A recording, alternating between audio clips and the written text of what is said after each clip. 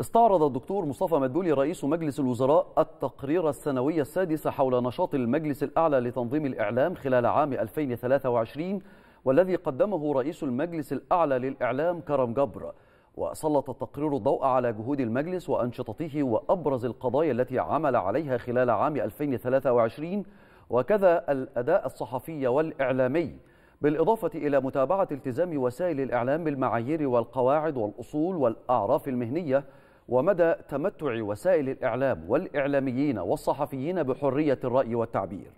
كما تطرق التقرير إلى دور المجلس الأعلى لتنظيم الإعلام في تدعيم العلاقات الدولية وذلك من خلال عقد العديد من اللقاءات مع سفراء ومسؤولي الدول والمؤسسات الأجنبية.